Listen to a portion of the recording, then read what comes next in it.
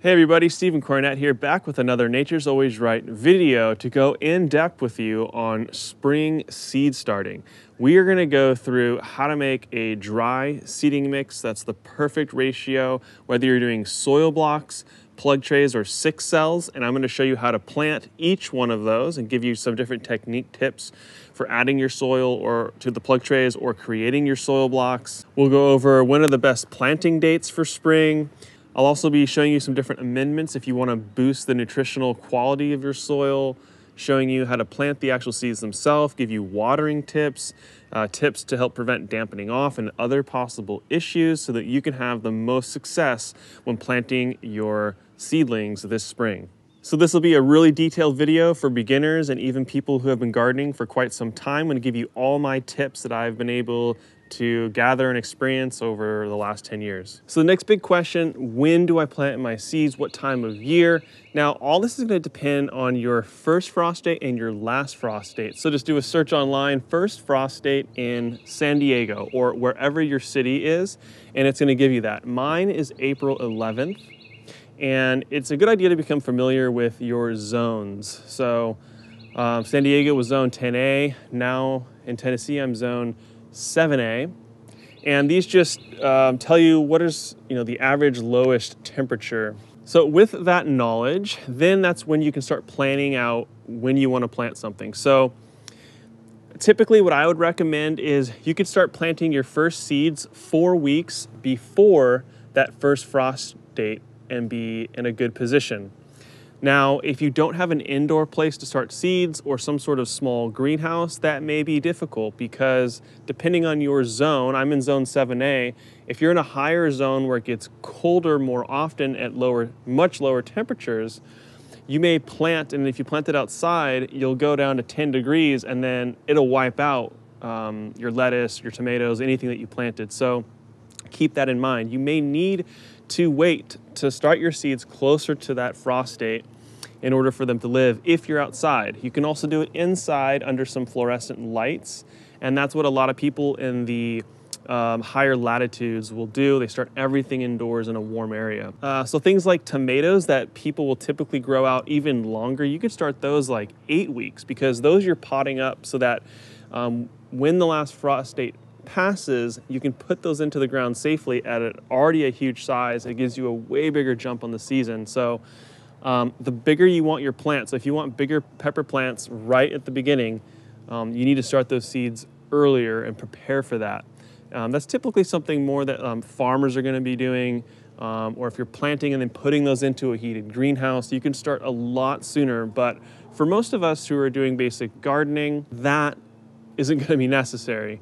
But keep in mind that there are ways that you can start your season earlier with some proper planning. So the first thing that we need to do, whether we're doing plug trays, soil blocks, or pots, is to get a dry soil mix. Now the easiest thing to do is to go out and just buy what's called a propagation mix, like ProMix, um, which works fantastically, it's very easy, but very expensive. So I'm gonna show you how to make your own ProMix. Uh, it takes a little bit more work. You need a couple different ingredients, but the end result's fantastic and you'll be able to make soil blocks or use it for your plug trays. Um, I even recommend making a lot large amount of this at a time and you can just store it in a tub so that whenever you need to plant more seeds or make more soil blocks, you have that ready to go. And that's something I did for my market garden to make it more efficient, just make a lot at one time. So today I'm just going to show you the ratio and the few secrets that it takes to make a good propagation mix at home. So for this mix, we'll need just three ingredients. High quality compost, peat moss or coco coir, perlite, or pumice stone. Compost, of course, is adding nutrition, organic matter that the, the seeds will need once they sprout the peat moss is uh, giving a lot more fluff, moisture retention, and helps the soil blocks to hold together or help the plug tray to hold together. Um, when you pop out your plug, it helps the soil to hold together and not blow apart when you're going to plant. And the perlite adds aeration um, and allows water to flow through the soil more easily. Uh, you could also use vermiculite, but vermiculite is more expensive, a lot more, like four times more the cost of perlite. The one benefit to vermiculite, which you may want, is it um, retains moisture better. It allows airflow, but can it's softer and, and holds the moisture better. I like that if you're gonna be planting stuff in summer and you're worried about the um, the soil drying out. Vermiculite can be a way to help buffer that. So now we just need a measuring cup. The five gallon bucket is the perfect measuring cup because three or four of these in a wheelbarrow maxes it out and allows you to mix it easily within a wheelbarrow. So my ratio is one bucket of compost, one bucket of perlite or coco, and a half bucket of perlite or vermiculite. This will make soil blocks or plug trays. I recommend one of the best things you can do as a gardener is finding a really good source of compost, especially animal-based compost. It's much more nutrient rich. Now, if you can't find that and your only choice is to go get some bagged soil, just get a high quality organic uh, bagged potting mix. So this right here is one of the secrets of making a good propagation mix. You need to strain all of your materials down to a quarter inch. This is just quarter inch hardware cloth on a very simple frame that I built. So here's my compost. This is some local mushroom compost. So now why am I using a mushroom compost and I, when I recommended an animal-based compost? Well, that's because in my area, it's difficult to find inexpensive animal-based compost. And many of the animals in my area, they're eating hay uh, or being fed things that I don't want them to eat, like hay that's sprayed with Grazon or other herbicides, and I don't want that in my compost. Mushroom compost is a good way to get um, decent quality and also be pretty clean as well. So I paid $300 for 12 yards, cubic yards for this stuff. Now in San Diego, I could get um, one yard of really good, ready to go. I can plant right into it and it's incredible soil for $35 a yard. And that was uh, rabbit and cow manure. So it just depends where you are and what connections that you have, but finding the best quality for the best price is what you're looking for, of course. Now, if this compost wasn't so wet, this would be easier. And there's some pieces of clay in here, sort of material, or it's not fully composted carbon. My previous compost was much a lot easier to sift back in San Diego. So the rest of this, I'll just throw back in my compost pile and it'll go into my garden beds. So now you can see the difference in how good this stuff looks for a propagation mix. Okay, now we're gonna do peat moss and the perlite. Perlite you can buy in a less coarse version. If you have access to that, then buy the smaller grain. Uh, I wasn't able to find it at a cheaper price, so I need to strain this out. All these bigger chunks will can impede the germination of seeds and just kind of get in the way. So with these three ingredients plus water, that's everything that we need for our propagation mix. But I'm gonna show you a few other things that I like to add because I like to ensure that all the vitamins and minerals are there for the plant from seed all the way to harvest. That way the plant can defend itself um, better from whatever is attacking it. Um, just like our bodies, if we have all the right nutrition, we can fight off illness as well. So I'm gonna be adding in azomite, kelp meal, and then I'm gonna mix a little bit of a fish hydrolysate. Fish hydrolysate is a fantastic organic fertilizer that you can use that has nitrogen, potassium, and phosphorus, um, some other micronutrients as well. But like I said, uh, you don't need to use those things. If you have a high quality compost, that's more than enough nutrition to grow good seedlings um, until they get out into your garden.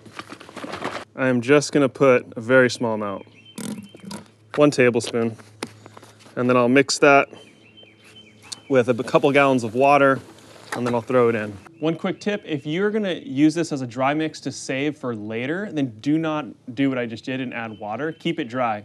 I know I'm gonna use all this up right now to plant all my seeds, so uh, keep that in mind when you're doing this. If I'm not giving some extra fertilizer like this, then I actually like to keep it dry and, and mix it dry then put it into another tote that I would get wet uh, to create my soil blocks, or I'll leave it dry for just putting in the plug trays. This is not gonna be enough moisture where it's gonna mess any of that up, um, but those are just some other factors to, to keep in mind. I like to mix with a straight edge shovel or a pitchfork works great too, but the straight edge allows me to scrape the bottom um, and really get a good mix and not leave anything behind. So now we have our finished dry mix. Mine has a little bit of moisture because we added that fish fertilizer. The fish fertilizer is a great way if you don't think your compost has enough um, nutrients in it or something, it's a little bit weak, that's a great way to boost it. And I'm gonna put links in the description below to all the different products I'm using if you wanna check them out more. Okay, so now that we have our dry mix, now it's time to plant either soil blocks, which you'll need a soil blocker and a mesh tray, or a plug tray. Now, I would recommend if you don't have any of this stuff, to get it all from bootstrapfarmer.com. I've got a link down in the description. All of their trays are super high quality, will last you a lifetime, unlike this flimsy thing here, which is cracking on me. Um, I'll put a link for the soil blocker as well. Now, what is the difference between the two? Well, I did um, some comparison videos in the past that I will link for you guys in the description if you want to check out the, the differences and how things grew. But basically, soil blocks are my definite favorite. I like them because you can leave them in the blocks and the plant can grow a little bit bigger, longer. So if you want to have a little bit more fudge time um, for when your plants need to get into the ground, this is a great way. It's also very easy to plant these. There's no popping out things out of plugs. It's just grab and go. A little bit more work up front to create the soil mix, but well, well worth it in my opinion. The seedlings are a little bit healthier. Now, the plug trays, these are never sink trays. They're a little bit more expensive. I don't recommend these unless you're um, doing farming or making money doing this. So then, you know, it can justify the cost. These are a little bit um, higher quality, have some features that are very nice about them. Uh, but for the plug tray, uh, when it's time to plant them, you have less time to wait before they need to get in the ground. There's an optimal amount of time when the plant reaches a, a certain size that it's, hey, I'm ready. You need to plant me within a couple days.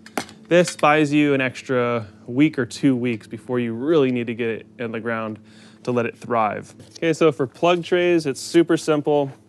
You know, I like to fill it up in the wheelbarrow, or if you have a higher workstation where you don't have to bend over, that's way more ideal.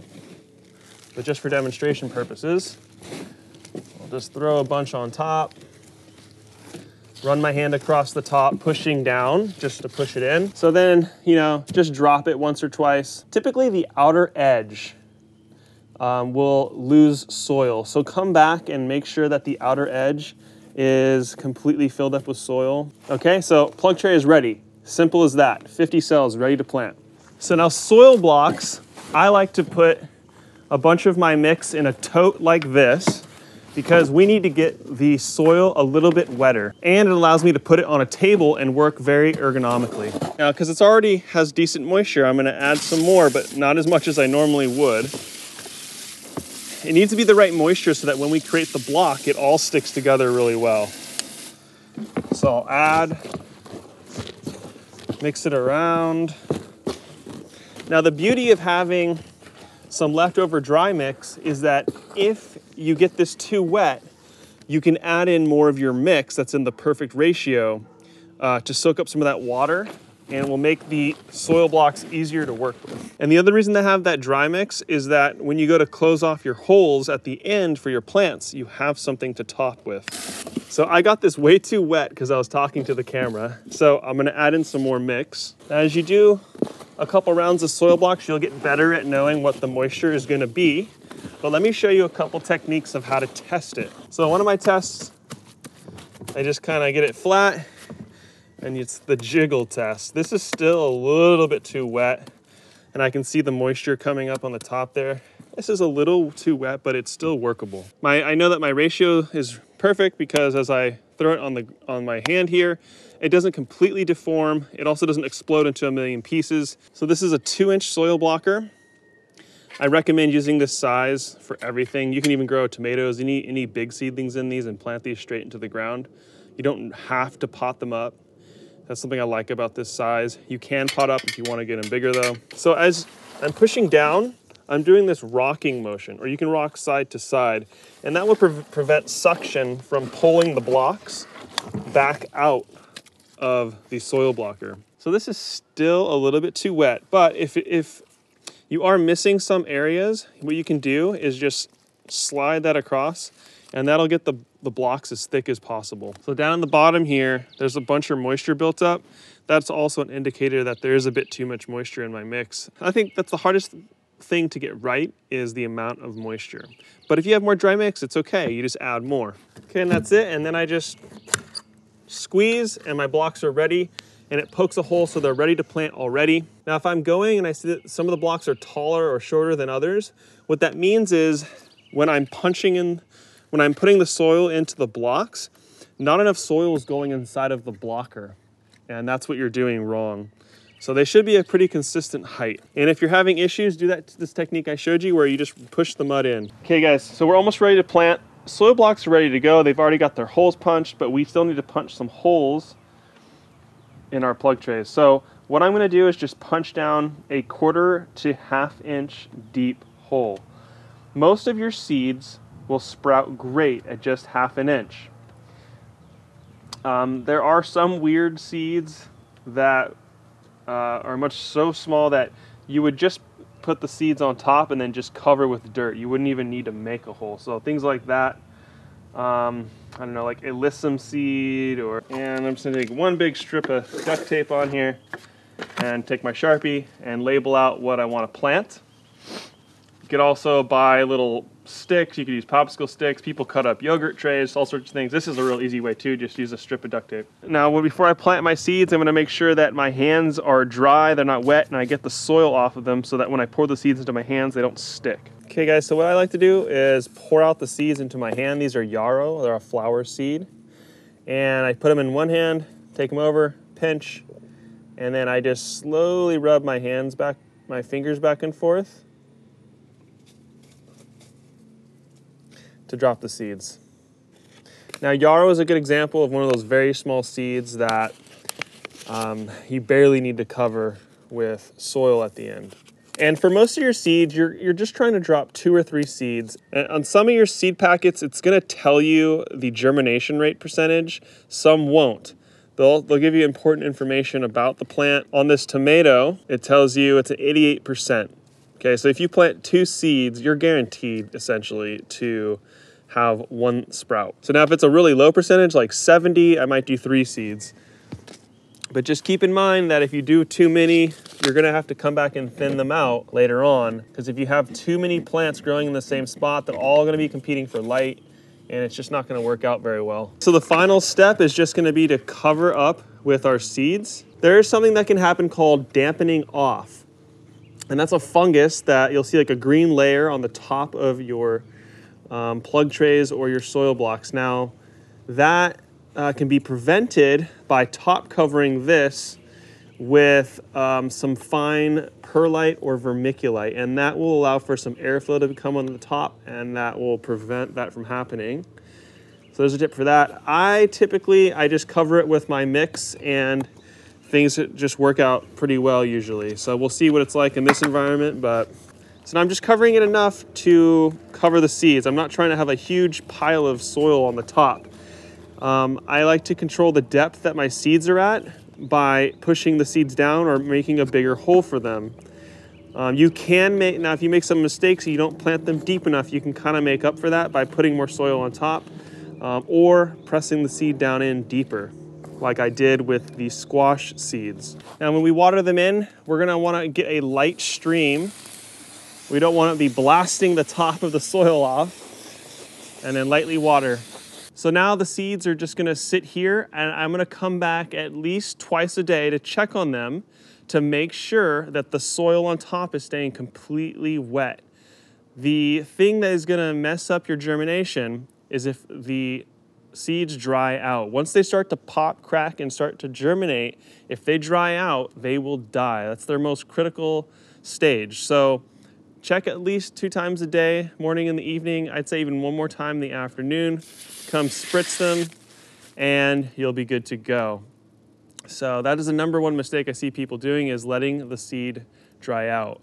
Once the seed is germinated and if you're seeing it grow, that soil still needs to maintain its moisture. Um, until the plant gets planted into the ground essentially, that should always have moisture in it. You should never let it dry out. So there's a great example of, you can see some of the trays have dryness on top and then some look wet. Now, if you were to dig down a little bit, you would notice that it is still wet under there, but that's your indicator that they need more moisture. So I'm using one of these really cheap greenhouses. You can get them on Amazon or anywhere. I had a friend who wasn't using it, so he gave it to me, but these are great just for starting things out and if you want a little boost. You can see I planted these three or four days ago and things are already starting to sprout here. So that's all it takes. And, you know, within seven days of you planting, and there's, you know, 60, 70, 80 degree temperatures, things will start to sprout for you and things will be good. If it's going seven days or longer and you're not seeing stuff starting to pop, that may be a time to start worrying. But what I recommend that you do leading up to spring and summer planting is to plant each week. Plant extras, backups. There may be bugs that come and eat your stuff, rabbits, um, something, you know, weather may come, they may die. You may actually get a, one more extra frost past your frost date. There's lots of different things that can go wrong. So if you plant, you know, a succession of each of these plants, you're going to guarantee yourself something um, in the ground come spring and summer and successful plants. And then you also want to keep in mind some of these things that you've planted, like tomatoes, peppers, they're going to produce for the summer, squash for the summer. Um, a lot of people will plant a second round, plan for that planted in maybe May or June of like squat your summer squashes or even uh, tomatoes to try and get another second harvest. Um, but things like your lettuces, spinach, green onions, things like that, you want to think about planting, you know, maybe once a month for just a regular homeowner or homesteader person. So that way you'll have a continual harvest of all those different things. If you're doing direct seeding, which I'll be doing in soil beds out there of your root crops like carrots, beets, radishes, uh, turnips, all those different things, um, you want to get on a schedule of planting those so you can have a continual harvest. You know, it depends, I don't know how much you're eating or if you're selling it, but you know, every week to four weeks, you're planting something, um, the same things over and over again. So those are my last couple tips for you. Just know that this is not easy. This is one of the most important and also difficult skills of growing your own food is planting seeds, um, figuring out the timing of plantings, dealing with the seasons, and all of that stuff. So don't get, beat yourself up about it. Don't get discouraged. Just keep trying. And that's why I recommended like plant like once a week for four weeks leading up to this spring time to your frost date so that you'll have a guaranteed um, set of plants that you can put out there and that will survive. So I've put down in the description uh, the places that I recommend getting seeds, True Leaf Market, uh, Bootstrap Farmer for your trays, all the different tools and different things that you might need. And that's just a great place that you can go and support my channel, um, buying something that you already needed, and I get a small little kickback from that and it's at no cost to you.